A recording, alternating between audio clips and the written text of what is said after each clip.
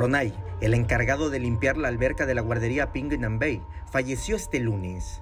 Sin embargo, su familia y sus amigos aclararon fuera de cámaras que su muerte no derivó de un accidente automovilístico. Lo que verdaderamente ocurrió es que pertenecía a un grupo de motociclistas y en un viaje recreativo al municipio de Chiapilla pasó por dos topes y se estampó en un poste.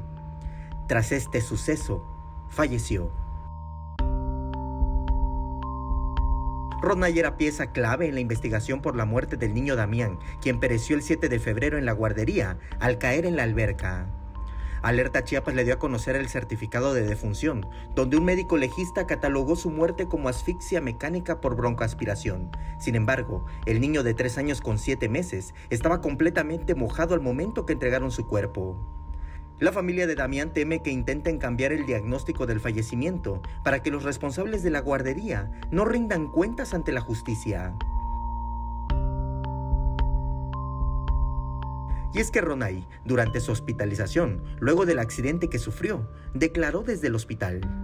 De acuerdo con la declaración, cuya copia está en manos de la familia de Damián, al encargado de la limpieza de la alberca, la directora de la guardería le pidió que la vaciara el día de los hechos. Ronay así lo expresó. Ese mismo día recibí llamada telefónica de la jefa Brunet diciéndome que había ocurrido un accidente en la guardería, que yo fuera para platicar conmigo, por lo que siendo las 17 horas aproximadamente, llegué a la guardería pasando al área de cocina. Ahí llegué con la jefa Brunet.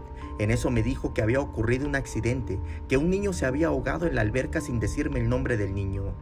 En eso, ella me dice que vaciara el agua de la alberca, por lo que yo le dije que eso no lo podía hacer, que como estaba la situación, no me quería comprometer. Samuel Revueltas, Alerta Chiapas.